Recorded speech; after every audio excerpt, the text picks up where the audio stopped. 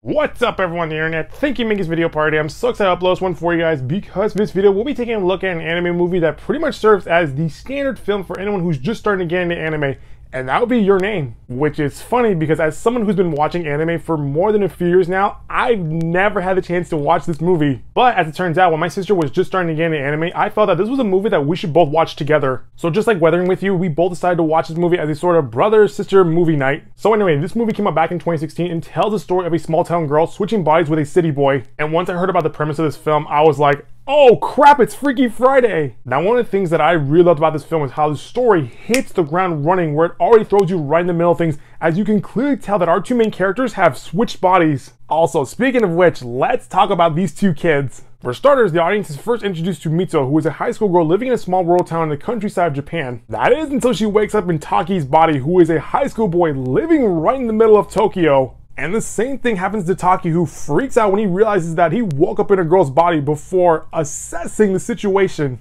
Okay, to be fair, I think most high school boys would have done the same thing if they woke up inside a girl's body. But anyway, throughout the first act of the film, we see these two kids learn how to communicate with one another as they begin to establish some ground rules for what they can and can't do with their bodies. And let me tell you, watching both Mitsuha and Taki get into all kinds of shenanigans with their new bodies is pretty funny because it's the sort of thing you would expect from high school teenagers. Now, while it's fun watching these two get into all kinds of trouble, it's not until when we get to the second act of the film we begin to uncover the truth behind this whole dilemma. And as we move further into the story, that is when begin to see these two characters start to realize that they actually have feelings for one another to the point where they need to meet each other in person. That is until this movie has its sixth sense moment as it throws one of the biggest plot twists I've ever seen in anime. Without giving you any spoilers, I will say the scene leading up to the big reveal is pretty much setting you up for shock and awe as you see how these kids are so close and yet so far away. Which leads us to the third act of the film, which raises the stakes as we are now on a time limit to where everything has to be done as fast as possible. Now, even though the story begins to speed up and pick up the pace, the movie still has time to fit in a very emotional moment between these two characters right before the climax of the film,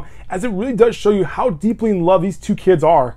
And in the blink of an eye, the moment ends. And I remember the room being dead quiet after my mom gave one of the biggest gasps in her life when she saw this heartwarming moment come to an abrupt end, which then becomes a race against time as the film puts you on the edge of your seat during the story's big climax. And once things start to settle down, that's where the story begins to tease the audience with the fate of these two characters. Now, while I enjoy the ending, I will say that I do have one little thing to nitpick, and it will be how the movie handles with the severing the connection between Mitsuha and Taki's whole body switching dilemma. Now, I can understand why the film decided to go this route, as it does make the final reunion more sentimental. But let's be honest, the ending would have been a lot better if there was still some sort of connection between these two kids, which then leads them to go looking for one another, and then having a far more emotional reunion than what we saw in the film. But like I said, despite that little nitpick, I was still very satisfied with how the movie ended. So overall, I really enjoyed watching this film as it plays with the idea of having a Freaky Friday scenario play with just a small town girl and a city boy. Wait, wait, hold up, hold up, holy crap!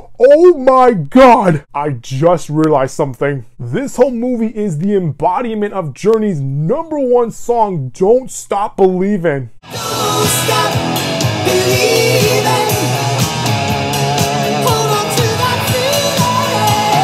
Now that I think about it, the movie plays out similar to what can be heard in the song as it focuses on a small town girl living in a lonely world and a city boy living in Tokyo. To make things even more crazy, there's strangers walking up and down the boulevard as they take a train going anywhere. That may be stretching it a bit, but somehow this feels very familiar. Now I know Hollywood plans on making an American live action version of this film, which will probably be bad, but I can guarantee you they're gonna play Don't Stop Believing at the end of the movie. But anyway, going back to the anime, I really enjoyed watching this movie, and what made the experience even better was watching it with my sister, who started taking interest in anime films. So if you're interested in watching an anime version of Freaky Friday with a romantic twist to it, I highly recommend you watch this movie. Well, that's gonna do it for this video, guys. That was my overall review for Your Name. If you like what you saw, click the subscribe button so you can get all these updates from this channel. I'll see you next time with a brand new video.